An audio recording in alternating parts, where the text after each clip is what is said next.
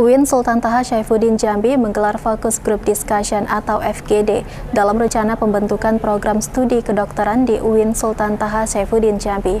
Kegiatan ini diselenggarakan di Aula Rumah Dinas Gubernur Jambi Selasa 23 Agustus 2022 malam.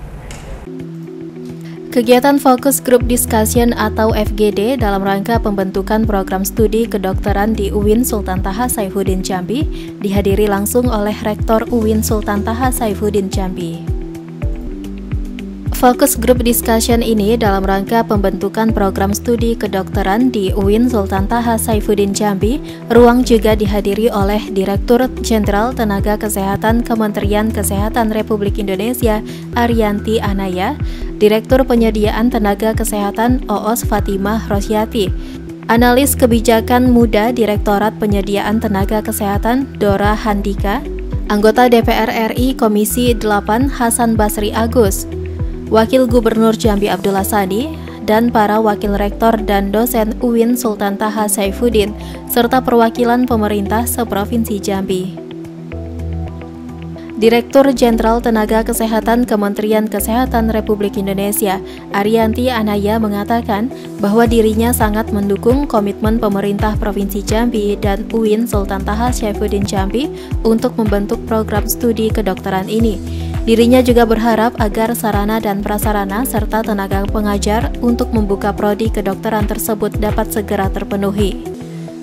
Melihat komitmen Pak Wagub dengan jajarannya uh, untuk uh, terutama bagaimana mengisi kekurangan tenaga kesehatan melalui pembukaan FK baru di UIN.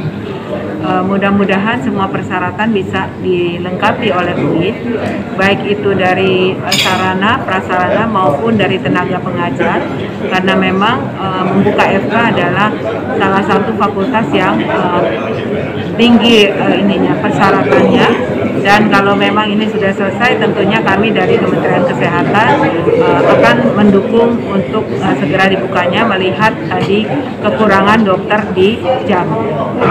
Kemudian, Wakil Gubernur Jambi Abdullah Sani sangat mengapresiasi ide dan gagasan dari Rektor UIN Sultan Taha Jambi terkait rencana pembentukan prodi kedokteran ini.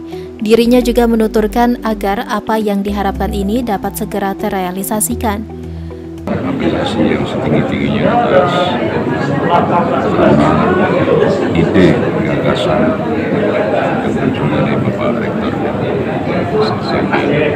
Dalam rangka untuk mendirikan sebuah yang berisi masyarakat fakultas yang namanya kedokteran luar biasa. Dan Alhamdulillah, mereka disampaikan tadi walaupun sampai sekarang masih dalam tahap tahapan-tahapan perencanaan terkait. Sementara itu, Rektor UIN Sultan Taha Syaifuddin Jambi, Suaidi menyampaikan bahwa dirinya mengucapkan terima kasih atas kedatangan Direktur Jenderal Tenaga Kesehatan Kementerian Kesehatan Republik Indonesia dalam FGD tersebut.